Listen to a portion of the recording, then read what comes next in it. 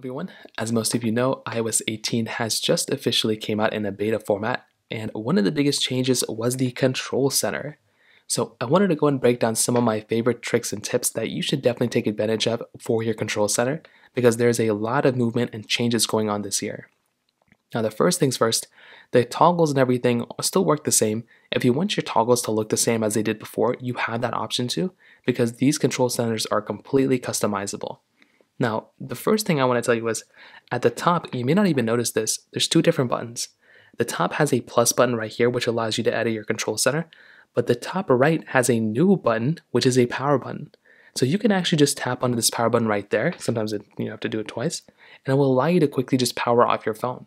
So if you need to just quickly power off your phone, let's say you just want to, you know, shut it down, or maybe your buttons aren't being responsive, you can just tap there and power off your phone, and that's an option that you have, which is very, very cool. Now going back into your control center, you can also tap onto the top left button right up here to get into your edit button. Now there is a lot of stuff you can do.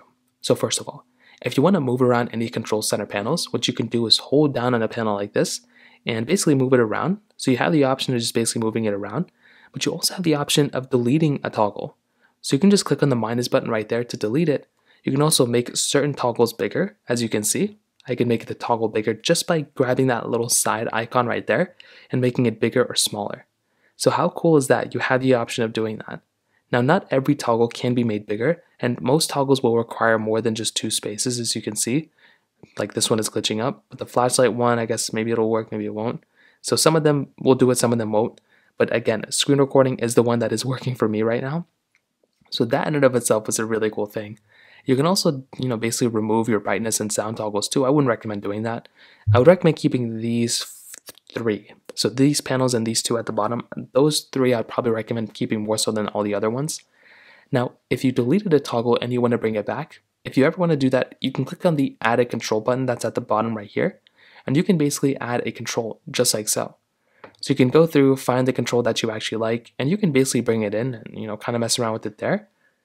So that right there is another really cool option that you basically have as well. And on top of that, if you want to, you can just, let's say I want to bring this Shazam thing in, I can just tap on it and you have that option of bringing it in there.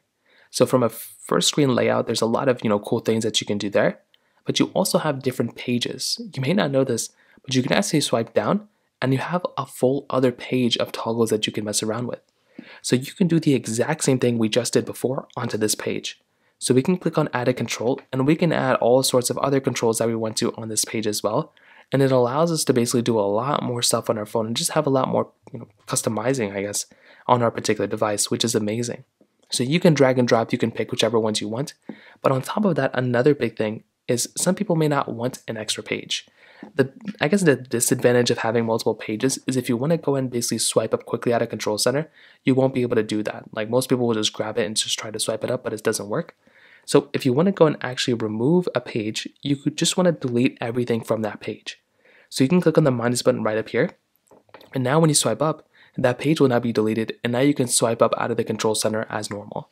So I know a lot of people were finding that annoying because they were just, you know, so used to swiping up like on the other iOS version like on iOS 17, you could just swipe up just like this and it would go away. So before now when the pages are there it doesn't work, but now you can remove them and you can just, you know, go from there. So those are my favorite tricks and tips that you should definitely take advantage of on iOS 18 on the Control Center. If you have any other thoughts or questions, please let me know in the comment section below. Hit the like button, that would mean so much, but definitely hit that subscribe button. More importantly than everything else, I love every single one of you guys. Hopefully I'll catch you guys in the next video.